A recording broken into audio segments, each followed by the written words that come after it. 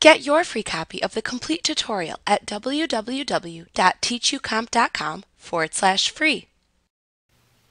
The Company Snapshot window shows multiple graphs and information from lists as independent widgets within the Company Snapshot window.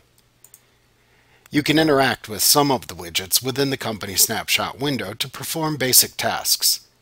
You can use the drop-downs and click the links that appear within the widget shown to change widget settings and perform other tasks related to the widget.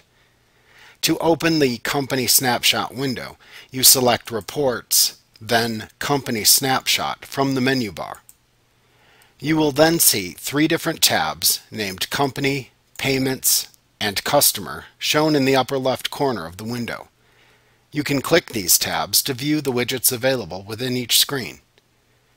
Note that unlike the Company and Payments tab, which show widgets that display general company and payables information, the Customer tab allows you to select the name of a customer from the Customer drop-down at the top of the tab to view information about the selected customer within the widgets shown on this tab. To add a widget to a tab, click the tab to which you want to add a widget. Then click the Add Content link in the upper left corner of the tab to display a pane that shows the widgets you can add to that tab at the top of the window. The total number of widgets available to add to that tab is shown at the bottom of the pane. If available, you can click the small left and right pointing arrows at the bottom of the pane to scroll through the available widgets. When you see a widget that you want to add shown within the pane, click the Add button next to the name of the widget to add the widget to the tab. The widget will then appear within the tab and the name of the button will change to display the word Added. After adding the widgets you want to the selected tab, click the Done button in the lower right corner of the pane to close it. To reposition a widget within a tab, click and drag the widget by its title bar at the top of the widget and release it into the desired position within the tab.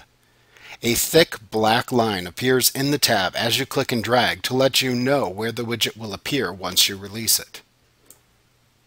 To remove a widget from a tab, click the small X button in the upper right corner of the widget you want to remove to delete it from the tab. You may then see a Remove Content message box appear on screen to confirm you want to remove the widget. Click the OK button within this message box to remove the content from the tab. To restore the default display of the widgets shown within a tab, click the Restore Default link in the upper left corner of the tab.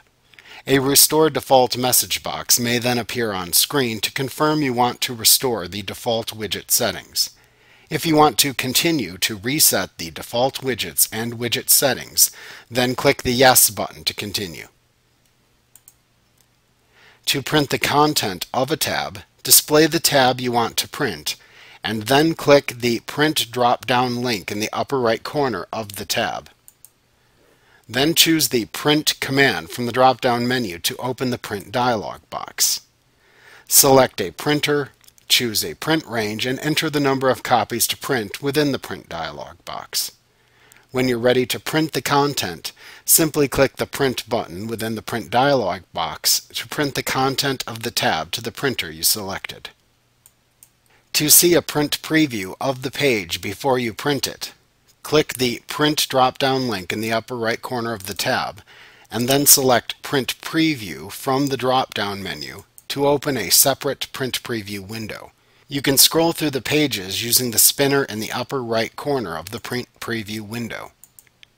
You can use the buttons in the toolbar at the top of the window to print, zoom, change the number of pages shown within the preview, or close the window. To change the page orientation and set other page setup options before printing, click the Print drop-down link in the upper right corner of the tab and then select the Set Orientation command from the drop-down menu to open a page setup dialog box. Here you can set the paper size, page orientation, and margins for the print job, and then click the OK button to apply your choices. When finished viewing the company snapshot window, click the X in the upper right corner of the window to close it. Like what you see? Pick up your free copy of the complete tutorial at www.teachucomp.com forward slash free.